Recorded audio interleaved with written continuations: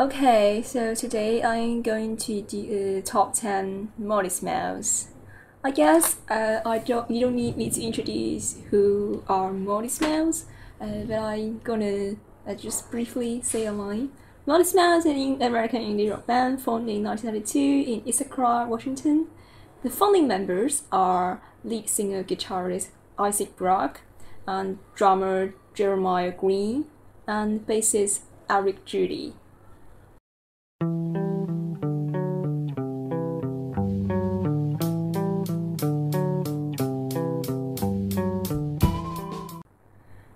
Smell is a band with a clear age definition as they go on with their discography. When they released their debut album, This is a Long Drive for Someone with Nothing to Think About in 1986, the band members were basically late teenagers. And this album pretty much also sounds like a road trip after graduating high school as well. Ohio is a song that doesn't really get talked about a lot, uh, but it has always been among my favorites. The strange, catchy melodies, eccentric yet witty lyrics.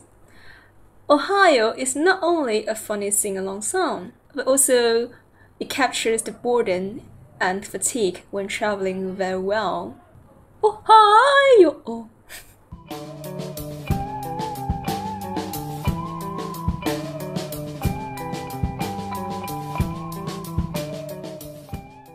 Do nothing out something. Uh, Modest Mouse B-sides from year 2000 is from this album that I got into Modest Mouse.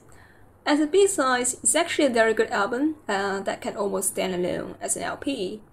Although it does feel uh, overall less epic and less cohesive uh, compared to other pro- Modest Mouse proper studio albums. The one major theme of Modest Mouse' discography is existential crisis, uh, which Isaac Brock doesn't ever get tired of talking about, even till this day, in his 40s.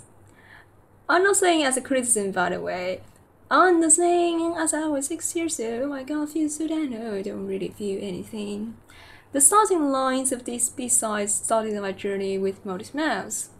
If it, if it helped, I was in my late teens and sort of having an existential crisis too.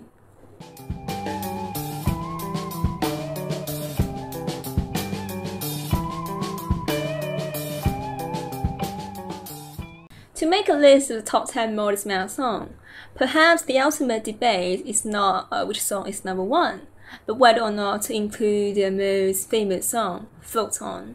The singer from the album, uh, Good News for People Who Love Bad News, uh, is actually the only Modest Mouse record that I have, released in year of 2004. This album got nominated for Grammy Award for Best Alternative Music Album that year, and Float On was nominated for Best Rock Song. From that album, Modest Mouse gained mainstream success. As an indie rock band, Modest Mouse almost had everything done, if you say. Cult following, good reputation among the critics, and dollars and probably women. The only Modest Mouse song uh, maybe that at a party everyone can sing along and dance to. I wouldn't say it's their best uh, or most special, but it's still nevertheless a pretty good pop song. I think it's more important uh, than excellence, I would say.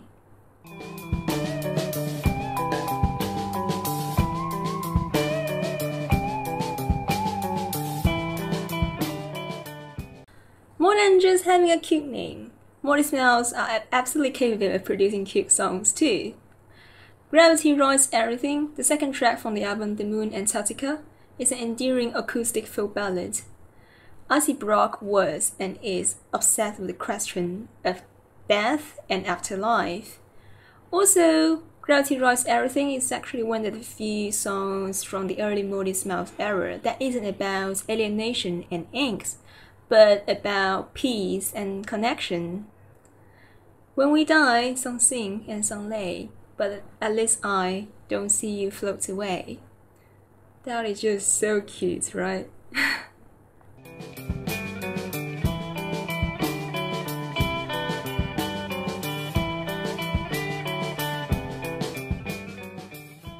My personal favorite Modest Mouse album is actually a hard tie between their debut album, This Is Long Drive with Long with Nothing to Think About, and the second album, Lonesome Crowded West.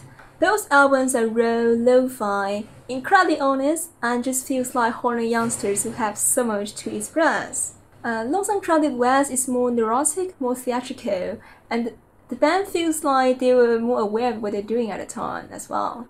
Uh, this is long drive. Has some moments it feels like the songs need to stop, but they keep playing. Uh, probably due to a Built to Spill influence or just Modest Mouse being Modest Mouse. Despite being a less mature album, uh, This is Long Drive is my favorite Modest Mouse record. Uh, is there anyone who uh, considers this one as their favorite favorite record? I think it's a song like Lounge wins it for me. The song sounds like bipolar, but its first part is reckless, impulsive, and cynical, the usual Modest Mouse that you know. And the second part is a beautiful serene play of cello and jangling guitar. It's very melancholic and almost feels like a post. It almost sounds like post rock. Uh, the song "Lounge" correlates with the image of my favorite movie, Paris, Texas. The vast, desolate landscape on the road, and the loneliness of one's heart after losing something.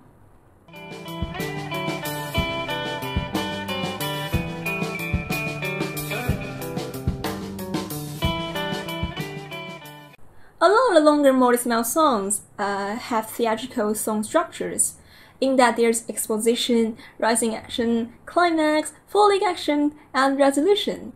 They are very good at changing a direction within a song in, in a very subtle way, and each part had their own tone too. The Stars Are Projector is a standout from the album The Moon Antarctica, released in 2000. This major label debut is a concept album about universe and astronomy. The production here certainly feels more grand and more polished, but not so much overproduced as, later, as their later albums after 2004. In my opinion, Modest Mouse is at its core still a very very indie band in general. Okay, back to the song. Isaac Brock self-claimed to be an atheist, but he liked using the word God a lot as a reference to something very grand and very mystical. Usually he jokes about it. Uh, for example, God is a woman and the woman is an animal, that animal's man, that's you. Or Jesus Christ was an only child, or God is Indian and you are an asshole. Not to mention his favorite thing to shout about. Oh god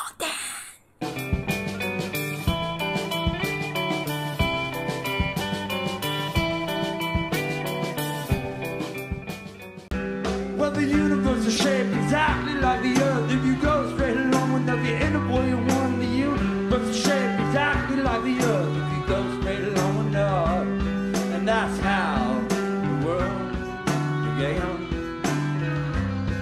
That's how the world. People tend to agree on that Isaac Brock is an excellent lyric writer. His mind is very imaginative and unique. The fun songs are of extra imageries and bizarre metaphors, and the sad songs are honest, heartfelt, and resonate strongly with the listeners. The cynical songs are full of Isaac Brock's subjective logic and philosophical musings. He, he is often paranoid and tends to think the outside world is dangerous and ridiculous. More than just good lyrics, Third Planet is pretty much a representative song uh, of Modest Mouse style in their heydays too.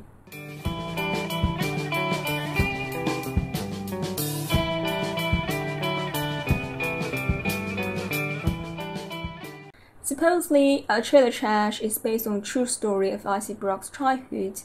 He used to live with his mom and his stepfather in a trailer. I have always found something similar between uh, Modest Mouse and Elliott Smith, another Pacific Northwest indie rock legend. Are you familiar with uh, Modest Mouse music? I'm familiar with Modest Mouse. Mouse. yeah. What do you think of them? I like them. I think they're good. Think they're very inventive and uh, emotional and cool.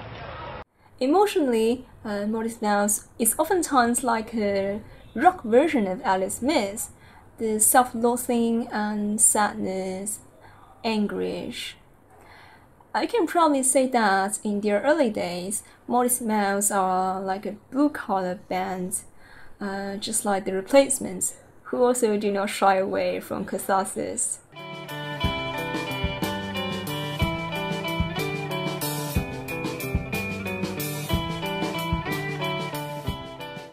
Lonesome Crowded West is about the dehumanization and alienation that urbanization brings. Isaac Brock said uh, people at the time were getting more fucked. Uh, the album's producer, Phil Ek, said that Isaac Brock is very good at painting a picture and situation and invites you to that kind of mood. Teeth Like God Shoeshine paints a picture of endless urban construction and phony businessman with a perfect smile and the meaningless uh, existence living within such a framework of banality. Sorry, so much negative energy here.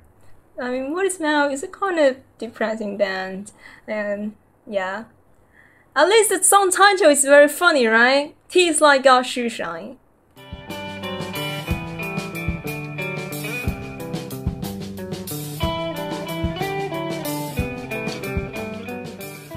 Uh, same as making the top 10 their replacement songs, uh, making an order between number 2 and number 10 is hard. Uh, but choosing number 1 is pretty easy.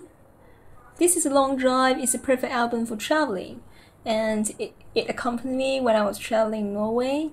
At the time, I was slowly recovering from a dark depression.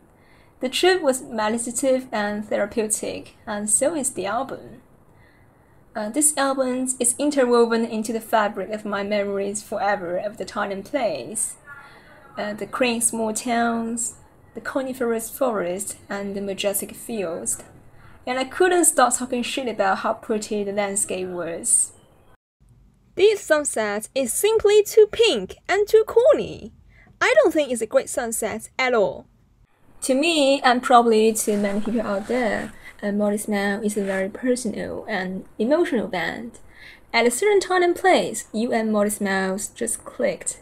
I assume that you have a story with Modest Mouse too. As I said earlier, they are, they are a band with a clear age definition. The early Modest Mouse resonates with the young people who feel like they don't belong and being misunderstood. The latest Modest Mouse album, uh, The Golden Casket, is is released this year in 2021. In this album, they clearly have mellowed down and become more optimistic in life. Uh, both Isaac Brock and Jeremiah Green have become fathers, uh, which probably has instilled hope and love in them. You can almost imagine that Isaac Brock is now the kind of friendly person who will help people picking up picking up grocery at a top shelf. Uh, while 20 years ago, he might be the grumpy gas station employee who would ignite a car out of tension. They change, and we do too, for better or worse.